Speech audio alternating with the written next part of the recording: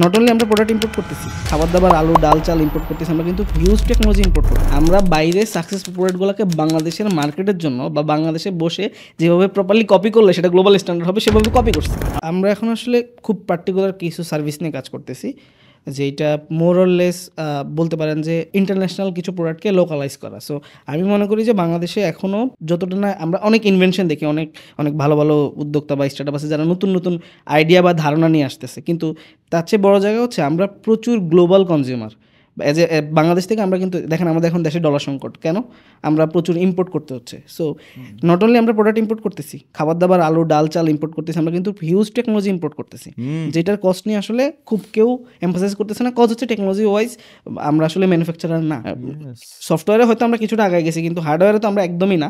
In fact সফটওয়্যারে core টেকনোলজিগুলো অনেক মানে ডিপ টেকনোলজি বা অনেক একদম মানে core main raw materials technology যদি বলতে থাকি ওই রকম অনেক টেকনোলজি আমরা আসলে টোটালি বাংলাদেশে ম্যানুফ্যাকচারই করি না। সো আমরা আমার কাছে মনে হচ্ছে বাংলাদেশে যতটা না ইনোভেশন দরকার তার চেয়ে বেশি লোকালাইজেশন দরকার। এবং আমি খুব প্রাউডলি বলতে পারি যে আমরা কোনো প্রোডাক্ট নতুন করে বানাই নাই। আমরা বাইরে সাকসেস প্রোডাক্ট প্রোডাক্টগুলোকে বাংলাদেশের মার্কেটের জন্য বা বাংলাদেশে বসে যেভাবে প্রপারলি কপি করলে সেটা গ্লোবাল স্ট্যান্ডার্ড হবে সেভাবে কপি করছি। সো এই কপিটা আসলে শুনলে মনে হবে যে কপি করা বাট ইটস এ লোকালাইজেশন কারণ বাংলাদেশের মার্কেটের জন্য একটা প্রোডাক্ট যেভাবে দরকার, সেটা গ্লোবাল মার্কেটের জন্য সেভাবে দরকার নেই। সো এটা একটা লোকালাইজেশন দরকার এখানে। সো আমরা পার্টিকুলার চারটা সার্ভিস নিয়ে কাজ করতেছি। একটা হচ্ছে আপনার এই সিডিএন যেটা। সো সিডিএন গ্লোবালি আছে, আমরা লোকালি নিয়ে আসছি। তারপর হচ্ছে আমাদের একটা প্রোডাক্ট আছে স্ট্রিম যেটা মোরলেস আপনারা যদি ভিমিও ইউজ করে থাকেন অথবা প্রাইভেট ইউটিউব মানে এডটেক অথবা কোনো একটা ওটিটি প্ল্যাটফর্ম যারা আসলে এটা করতে চায় তাদের জন্য আসলে এটা দরকার। মানে full fledge video streaming solution আপনি যদি এডটেক শিখর কথা চিন্তা করেন তাদের ফুল ভিডিও স্ট্রিমিং টেকনোলজি পিছনে বিহাইন্ড দিয়েছেন আমরা। They are building the courses and user experiences but ভিডিওর জন্য তারা আমাদের উপর রিলাই করতেছে। সো আমরা ওই জায়গাটা তৈরি করছি। আমরা কাজ করতেছি লোকাল ক্লাউড নিয়ে। লাইক আমাদের প্রচুর ক্লাউড বিল যা হচ্ছে গুগল অ্যামাজন এডাব্লিউ যেটাকে বলি আমরা, অথবা ডিজিটাল ওশান বা এরকম বাইরের প্রোভাইডারগুলো সার্ভারগুলো বিদেশে। সো বিদেশি থাকার কারণে আমাদেরকে ভালো পে করতে হচ্ছে। ওই জায়গাটাতে আমরা লোকালি একদম যেই যে প্রোডাক্টগুলো লাইক কম্পিউটিং স্টোরেজ ডাটাবেস যে জিনিসগুলো আসলে লোকালি আমাদের টেক কোম্পানিগুলো ইউজ করে, কিন্তু পে করে বাইরের কোম্পানিকে ওই সার্ভিসগুলোকেই বাংলাদেশিরা আসলে যেভাবে ইউজ করতে অভ্যস্ত সেইভাবে আমরা লোকালি তৈরি করতেছি। সো এর, এর- এরপর হচ্ছে আমাদের একটা কমপ্লিট ওটিটি সলিউশন আছে। লাইক আপনারা যদি দীপ্ত প্লের নাম শুনে থাকবেন দীপ্ত টিভির ওটিটি প্ল্যাটফর্ম এটা পুরোটা বাংলাদেশে তৈরি করা।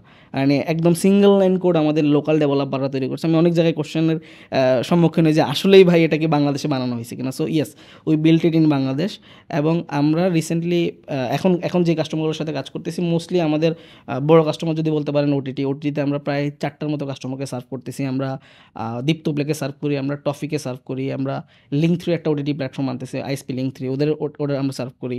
বাংলা টিভি নামে একটা ওটিটি প্ল্যাটফর্ম আছে ওটাকে আমরা সার্ভ করি। এর থেকে আমরা অনেকগুলা এর থেকে সার্ভ করি লাইক শিখো ওস্তাদ বহুব্রিহি সিনাপেজ এরকম কয়েকটা। আমরা একটা ইন্টারেস্টিং ওটিটি প্ল্যাটফর্মকে হ্যাঁ আরেকটা আছে আমরা খুব রিসেন্টলি অনবোর্ড হয়েছি ইম্প্যাক্ট একাডেমি ইনশাল্লাহ গতিপথ impact will create an impact so yeah.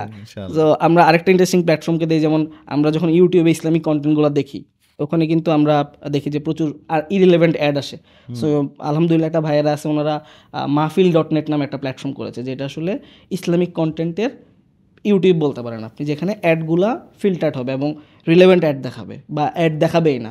So that আপনি আননেসেসারি আপনি যদি একটা ওয়াজ দেখতেছেন, তার মধ্যে জুয়ার অ্যাড দেখেন this is not relevant so এই জায়গাগুলো থাকবে না। সো এই যে প্রোডাক্টটা তৈরি হচ্ছে, এটার পিছনে কিন্তু ভিডিও স্ট্রিমিং সলিউশন পুরোটা আমাদের প্রোভাইড করা। সো ইনশাল্লাহ ওনারা খুব সফট লঞ্চ করছে, খুব সুন হয়তো ওনারা বড় আকারে যাবে দেশের সার্কমস্টেন্স চিন্তা করে। সো এটা একটা জায়গা। এর বাইরে আমরা এন্টারপ্রাইজ ক্লাউড নিয়ে আজমত গ্রুপ ইমপ্রেস গ্রুপ আরও বড় বড় বেশ কিছু এন্টারপ্রাইজের সাথে কাজ করতেছি যাদের মানে লোকাল যে কাস্টমাইজ সার্ভার সলিউশন দরকার বা ক্লাউড সলিউশন দরকার সেটা আমরা দিচ্ছি। সো এই এই মোটা দাগে আমরা আসলে এই জায়গাটায় কাজ করতেছি। সো আমাদের টেকনোলজি আসলে এন্ড ইউজার ইউজ করে না। আমাদের টেকনোলজি ইউজ করে অন্য টেক কোম্পানি যারা এন্ড ইউজারের জন্য প্রোডাক্ট বানায়। সো যার কারণে আসলে সাধারণ কাস্টমার আমাদের সাথে খুব একটা রিলেশন নাই।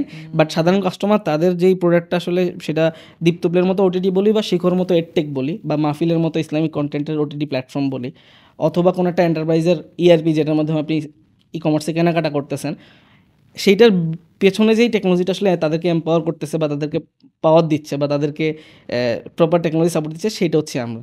সো মোটা দাগে বাংলাদেশের ভিডিও স্ট্রিমিং ইন্ডাস্ট্রির কোর ইকোসিস্টেম বিল্ড করতেছি আমরা এখন।